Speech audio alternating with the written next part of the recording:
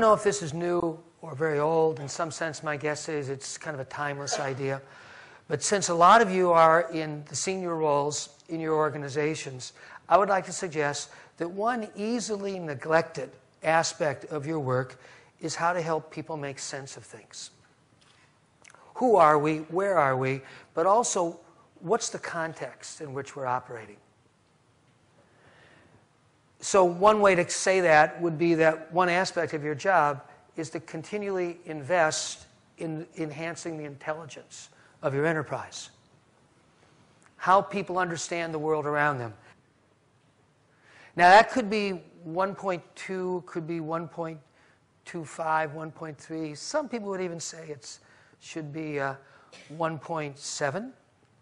And you'll see in a minute when I explain a little bit uh, why there's a natural range of uncertainty.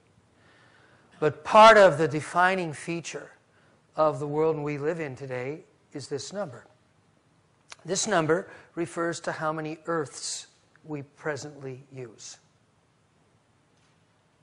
If you look at the total footprint of human activity on the planet, we are way past the one. Probably, I'd say, a kind of consensual perspective of environmental scientists, probably in the latter part of the last century, we passed the one point.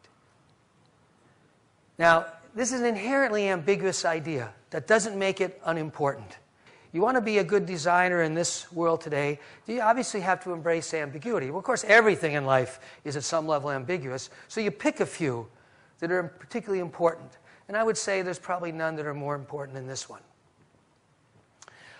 If China were to rise to the level of material affluence and waste of the West, this number would be two. We would need two Earths. If India does likewise, it'll be three. I would say that's a defining feature of our reality today.